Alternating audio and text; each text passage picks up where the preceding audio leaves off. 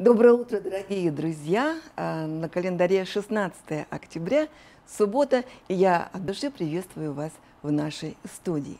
Хочу напомнить вам, что совсем недавно свой профессиональный праздник отметили работники почтовой службы Российской Федерации. И сегодня у меня в гостях очаровательный заместитель директора по операционному управлению Управления Федеральной почтовой службы Карачаева-Черкесии акционерного общества «Почта России» Ольга Владимировна Шиянова. Доброе утро, Ольга. Доброе утро. Доброе утро, коллеги. Доброе утро, друзья. Доброе утро, жители и гости нашей республики. Спасибо вам огромное, что вы сегодня, вот, несмотря на то, что субботний день, стали вот замечательным гостем нашей студии, несмотря на свою, в общем-то, достаточно сложную работу. Прежде всего, мне бы, пускай с некоторым опозданием, но хотелось бы э, поздравить всех работников вашей службы в вашем лице, с вашим профессиональным праздником. Пожелать всем огромного здоровья, крепкого, которое сейчас просто необходимо каждому. И еще раз уверить вам, что ваша служба, она очень нам нужна, мы очень ее ценим. И вы знаете, если не дай бог завтра, ну, время оно ведь непредсказуемое, слетит интернет, то мы опять вернемся к нашим почтовикам, как говорят в народе, к обычной службе, Э, почтовых работников. И сегодня, вот готовясь к этой программе, я окунулась в такую ностальгию. Мне так захотелось э, взять в руки э, старый телефон э, с диском, который таким удивительным звуком прокручивался, ласкающий э, ухо. Или э, прийти на почтовое отделение и написать скрипящим, таким тонким перышком, которое ты окунаешь в чернила, какую-нибудь хорошую телеграмму добрым людям, своим знакомым или родным. Вот э, я понимаю, что вы не об этом будете сегодня рассказывать, скорее наоборот, о всех э, нанотехнологиях, которые произошли в, этой сфере. И э, с большим удовольствием мы это все выслушаем и порадуемся и за вас, и за нас, наверное, в первую очередь, тех, кто пользуется услугами почтовой связи. Спасибо большое лица всех почтовиков. Очень рада, что вы нас пригласили. Спасибо за поздравления. Во-первых, хочется сказать, что мы не стоим на месте, мы стремительно движемся. Локомотив идет вперед, и очень много сервисов и услуг мы можем предложить нашим клиентам. У нас сейчас век цифровизации, век цифронизации, поэтому у нас очень много новшеств, которые произошли на наших э, почтовых отделениях. Это, во-первых, у нас есть такая услуга, простая электронная подпись. Я вам хочу рассказать, для чего она. Любой клиент, который приходит в отделение почтовой связи, независимо, городское отделение или сельское отделение, через оператора или начальника отделения, через э, нашу программу почтовую ЯС оформляет и может потом приходить в отделение и получать свои отправления, которые без наложенного платежа только по смс приходящей на телефон. Это очень удобно, экономит время и наших работников. Мы уходим от ручного труда и уходим от, это, от бумаги. И также экономит время нашего клиента. То, что клиент может без паспорта зайти, сказать э, трек-номер, оператор его отследит, и придет смс и по смс он получит свое отправление. Пользуюсь периодически. Да. Это очень удобно, вы сами да, это на себе да. испробовали. У нас также еще есть извещения формы 22, также электронные. Тоже по этим извещениям мы также в отделении может клиент обратиться, также можем мы оформить анкетку, подпишет клиент, и получается могут, могут получать все полностью РПО, даже с наложенным платежом. Это тоже очень удобно, тоже очень сейчас востребованная услуга, все пользуются, всем нравится. А еще вам еще раз хочу рассказать, то, что у нас есть мобильное приложение Почта России. То, что скачать его можно или через App Store, у кого айфоны, или через Play Market, у кого андроиды. Вот это почтовое наше приложение Почта России, оно сейчас пользуется большим у нас спросом. Я вам хочу рассказать, для чего оно. То, что мы можем по нему отслеживать все полностью отправления регистрируемые, у которых имеется штрих-код, и международные, и российские штрих-коды. Также мы можем отслеживать, получается, свою посылочку, которую мы заказываем на сайте. Допустим, даже пакеты Алиэкспресс мы можем по этому мобильному приложению отследить. Также в мобильном приложении мы можем оценить работу отделения. Вот, допустим, пришли в отделение, вам очень понравилась работа нашего, допустим, оператора, и захотели выразить благодарность. Вот в этом приложении можно оценить работу нашего отделения. А наоборот? Ну, это... Поругать. Ну, поругать лучше обратитесь к нам, пожалуйста. Мы на своем уровне уже выясним, в чем причина. Знаете, очень стало заметно. Во-первых, отсутствие очередей, вот эта талонная система угу. очень удобная, и как-то ругать, в общем-то, не, не за что получается. Наши дев, девочки, это наши работники, они очень стараются. У нас все работники уникальные. Вот у каждого свой подход к работе. Есть у нас и отличники, есть у нас очень долго, которые отработали на нашей почте. У нас очень много работников, которых мы ценим, уважаем то, что стараемся мы обучаем, то, что у нас очень развито обучение, то, что у нас каждый работник проходит э, ступень обучения, и зачастую очень много этих сервисов, которые внедряются, мы их обучаем, курсы проводим нашим работникам. Я знаете, что заметила? У вас очень много молодежи работает. Ну, молодежи, да, у нас молодежи очень много, то, что э, молодежь э, стремится к работе, вот операторы, начальники отделений, не только вот по городу Черкесску, но и по всей республике, то, что почта обновляется, меняется. Молодежь к нам приходит. Ну, конечно, не так, как хотелось бы. Ага. То, что очень много таких получается нюансов, что у молодежи перспективнее работать, допустим, в Мегафон-центре, там, Билайн-центре, то, что быть поближе к народу, то, что, ну, мы тоже не сдаемся. Здорово. Очень отрадно заметить, что, э, ну, как, видимо, какой-то порядке очередности ваши отделения почтовые ремонтируются. И, в общем-то, так стало э, классно. Вот я пользуюсь центральным отделением в, в городе Черкеске. Очень приятно. Заходишь, чисто, очень светло, и ну, все доступно как-то отрадно. Конечно, это не стоять возле стойки и просить там перо черни, с чернилами и написать ну, какое-то сообщение на, телеграммного такого характера. Не только по городу Черкеску, но и по всей республике. Те отделения, которые уже, получается, требуются ремонта, мы их стараемся включаем в адресную программу. И по утвержденной адресной программе мы их проводим ремонты. У нас очень в этом участвует задействован Ахмат Магометович. Он нацелен, чтобы каждое отделение было отремонтировано, каждое отделение, которое было удобно, доступно для нашего клиента. Также для наших работников было приятно прийти на работу, прийти в опрятное, чистое отделение и провести свой трудовой день. Это немаловажная работа, то, что, чтобы наши сотрудники были довольны.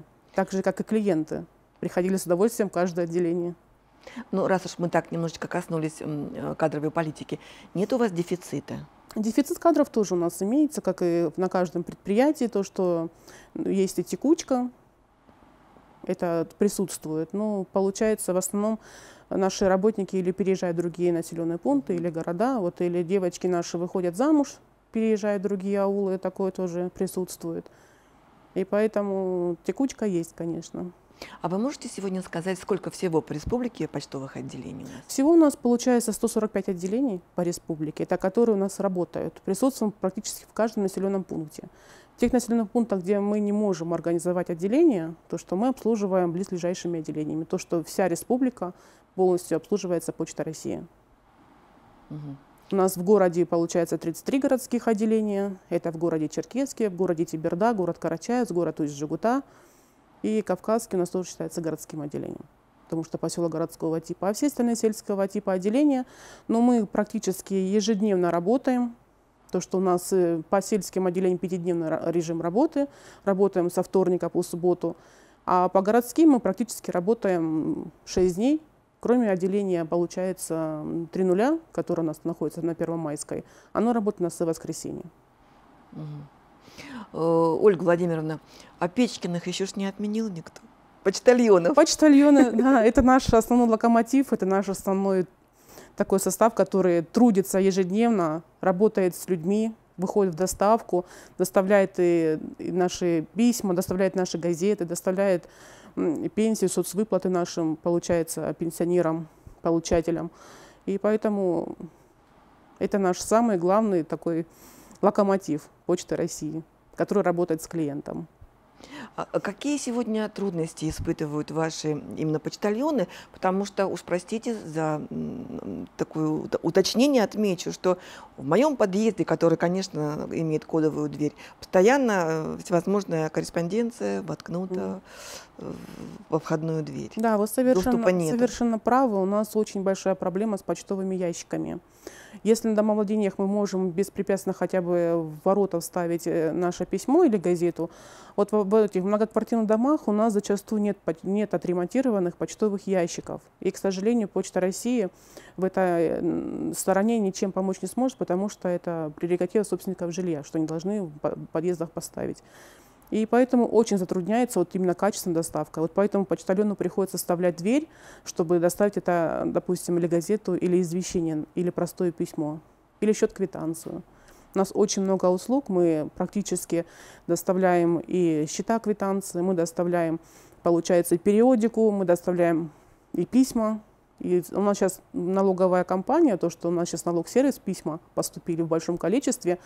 И до 1 декабря то, что мы раздадим всем, кому мы не раздали письма, но большую часть мы уже раздали. Только единственное, кого не было дома или где адрес был неверным, мы не смогли доставить. Это а вот к концу года нужно успеть, да? Да, до мы конца. до 1 декабря должны будем доставить письма. И можно на почте России оплатить также налоги. Вот по этим налоговым отправлениям можно платить налоги. То, что мы принимаем и налоги, и штрафы, и пени. Мы принимаем полностью все виды платежей, на Почте России. И принимаем полностью это, все это виды переводов, и, этот, э, и также беспрепятственно можно оплатить все штрафы, поэтому всех приглашаем, всех рады, всех, всех ждем. Также можете оплатить э, у почтальона. Зачастую у всех почтальонов находятся МПКТ, мобильно-почтовые терминалы. То, что почтальон при посещении клиента может на, на дому сразу же принять этот, этот штраф, налог, и может также за сотовый телефон взять оплату. Здорово. Я, например, не знала о такой услуге. А вообще почтальонов э, хватает сегодня, потому что в основном это женщины, труд нелегкий. Как-то вообще вот современное время облегчает их работу?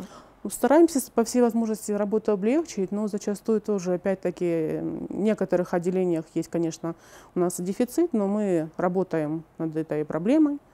То, что заменяем мобильными получается, группами. У нас есть мобильные группы на почте, то, что мы можем заместить начальника отделения, оператора и почтальона мобильной группы.